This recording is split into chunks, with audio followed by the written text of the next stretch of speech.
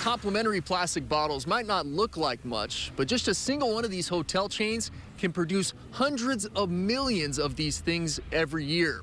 Now, some Hawaii lawmakers want to do away with them entirely. Instead, opt to use bulk dispensers.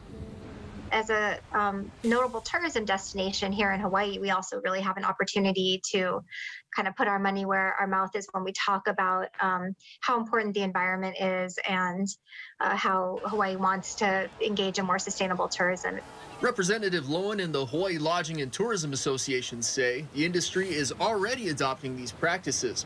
Marriott has pledged to phase out single-use plastic bottles worldwide by the end of the year, something Hyatt did last year. Certainly the spirit of this particular bill or these series of legislative measures uh, is something that uh, we don't really have an issue with. It's all about timing. It's all about making sure that uh, there's an understanding of the fact that uh, every hotel chain, every hotel brand is different. The bill would prohibit hotels with 50 or more beds from handing out personal care products in small plastic bottles in 2024 and 2025 for lodging with fewer than 50 beds. Lowen says they'd be willing to push that further. But with each month that passes, more plastic is added to Hawaii's landfills. There was a research uh, study that was done that over 300,000 pieces of single use plastic are used by like one sort of general 200 room four star hotel every month.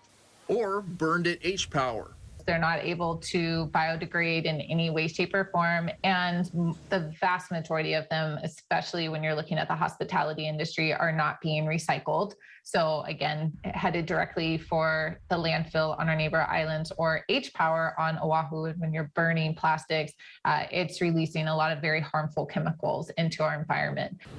Now, the bill has passed its first reading and will be heard in the Energy and Environmental Protection as well as the Tourism and Labor Committees on Thursday. Sam Spangler, KHON2 News, working for Hawaii.